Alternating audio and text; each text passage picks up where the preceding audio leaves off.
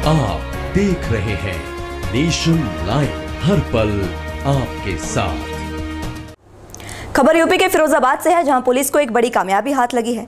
दरअसल पिछले एक महीने से फरार चल रहे हत्यारोपी को पुलिस ने अपनी गिरफ्त में ले लिया है। मौके से पुलिस ने आरोपी के पास से एक पिस्टल भी बरामद की है, जिसका इस्तेमाल आरोपी ने हत्या में किया था। मामला दरअसल शिकोहाबाद की विकास कॉलोनी का है, जहाँ 25 अप्रैल को एक महिला की, उसी के पति ने अवैध संबंधों के शक में गोली मारकर हत्या कर दी थी।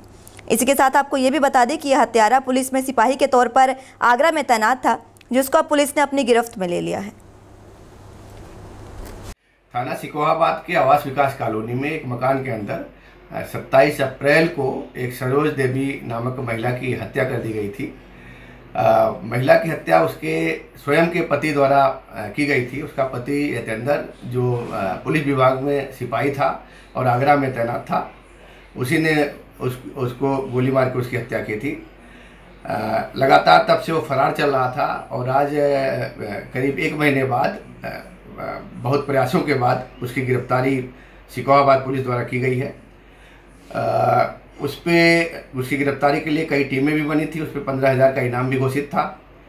गिरफ्तारी के बाद पूछताछ पर उसने अपना पूरा जुर्म कबूल किया और उसने बताया कि उसका उसको शक था कि उसकी पत्नी किसी और से फ़ोन से बात करती है। और घटना के दिन भी जब उसने उसकी पत, अपनी पत्नी का फ़ोन लेकर उसकी रिकॉर्डिंग चेक करना चाहा तो उसी में दोनों का विवाद हुआ और गुस्से में आकर उसने जो उसके पास एक अवैध पिस्टल थी उसी पिस्टल से चार गोली मारकर उसकी हत्या करके फरार हो गया था।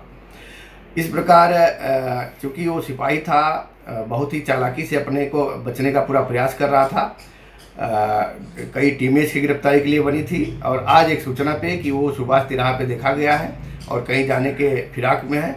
घेराबंदी करके उसको उसी पिस्टल के साथ, जो आला कतल पिस्टल है, मैं पिस्टल की गिरफ़्तार किया गया है और पूछताछ पर उसने अपना पूरा जुर्म स्वीकार किया है।